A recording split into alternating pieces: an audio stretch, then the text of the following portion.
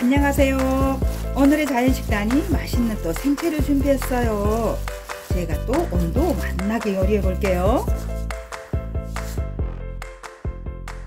이 무는 650g 정도 되는데요. 얘네들은 이제 좀 더 크게 되면 가을에 그 동치미 담을 무로 되거든요. 근데 그러기 전에 사이에 사이에 들어있는 이 자그마한 것들을 솎아내는 요새 무가 또 이상 맛있어요. 근데 완전히 맛이 들지는 않았지만 그래도 생채를 한번 해 먹고 싶어요. 그래서 이파리랑 좀 섞어서 오늘은 할 거예요.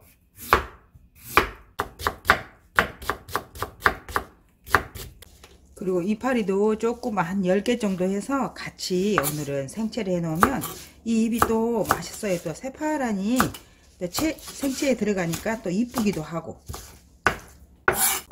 이렇게 해서 생채는 이 망 있죠. 보통 절이지 않고도 담으시는데 저는 살짝 절여서 할 거거든요. 근데 이런 망에다 망에다가 천일염 소금 한 반수 정도를 여기다 같이 이렇게 절여 주세요. 그러면 이렇게 꾹 짜지 않아도 적당히 물 빠지면서 잘 절여지거든요. 이 물이 빠지니까 밑에는 물, 물 빠진 받침을 해놓고 꼭 이렇게 한번 절여보세요. 이렇게 찾고 이렇게 만져주면 빨리 절여지거든요. 이렇게 꾹꾹 눌러주고 이제 절여지고 있는 사이에 옆에서 이제 대파도 좀 썰어주고 쪽파나 대파 아무거나 집에 있는 걸로 넣으셔도 돼요.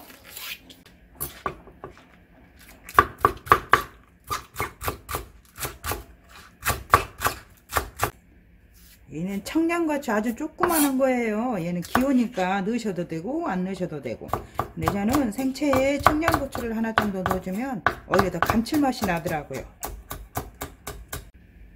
이렇게 10분 정도 있다가 다 절여지면 이렇게 손으로 한번 꾹 눌러주세요. 물기를 좀 빼주고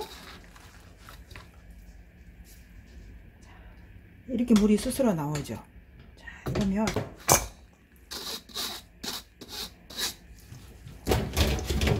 맛있는 양념은 다진 마늘 반 수저에 고춧가루 세 수저를 넣어주고 그리고 아직은 무가 맛이 안 들었으니까 매실원액 매실원액 두 수저 넣어주고 이 무도 날씨가 좀 아침 저녁으로 기온차가 많아야 맛이 들어요. 지금은 아직은 많이 춥지 않으니까 맛이 안 들었네요. 까나리 액젓 한 수저 까나리 액젓은 이 무의 간을 먼저 보시고 아, 어느 정도 칠 건가 이제 감을 하셔야 돼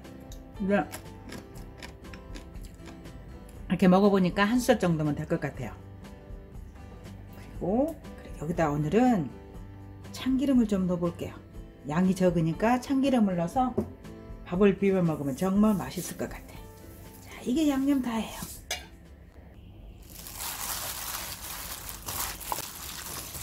자 이렇게 적당히 조물락 조물락 하다가 이제 파가 어, 파가 꼭 들어가야 맛있어요. 청양고추랑 같이 넣어서 무 속에 간이 쏙 될 수 있도록 손끝으로 힘을 가해서 팍팍 주물러 주면 돼요. 이 고춧가루 양은 가정의 기호에 맞게 더 하얗게 해도 맛있고 생채는 좀 이렇게 불그스름 해도 맛있고 이 고춧가루도 조절해서 하셔야 돼요. 그래도 마무리는 간을 봐야지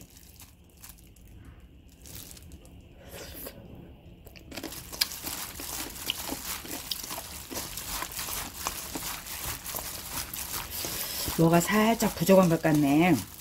살짝 그래도 아직은 무가 달지 않아서 음, 매실 원액을 조금만 더. 자, 손으로 간함을 해서 한수 정도 넣고.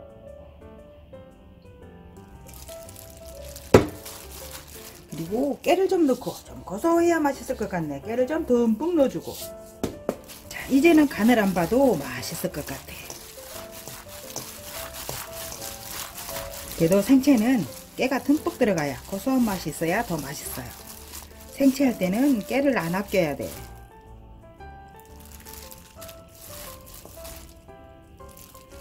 오늘도 이렇게 건강하고 맛있는 생채로 저녁 밥상에 함께 올리셔서 맛있는 식사로요. 우리 함께 건강하시게요.